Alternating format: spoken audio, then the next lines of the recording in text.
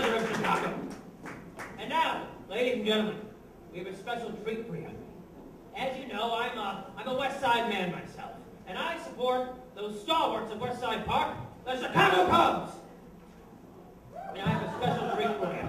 I, I see uh, they're very popular this year. Fresh off a successful 1905 season. I, I think better things are going to happen. I, I promised my favorite elephant they're going to win 103 games in 1906.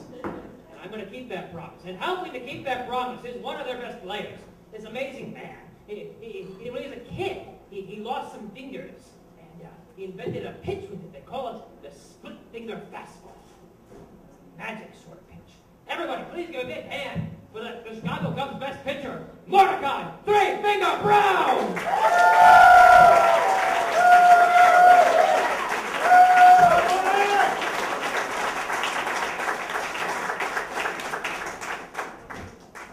So good you. Had a great year last year, didn't you?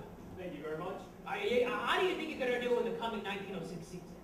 Well, I think we're going to win 116 games. Look at that! 116 games! That's a record! That's a record! No, no, no. You don't understand. Terrible things will happen. We'll win 116 games, but we are going to lose to those no good, accursed White Sox. No, those Zach. hitless wonders in the World Series. I, I, I know, you can't say for certain. I'm so sorry. But Oh, I have seen. I have given up two of my fingers for sight beyond sight, and I know what the future will hold. We will lose to those White Sox next year, but we will win 116 games. Hey, how about the next year? Even better, the next two years, we will win the World Series.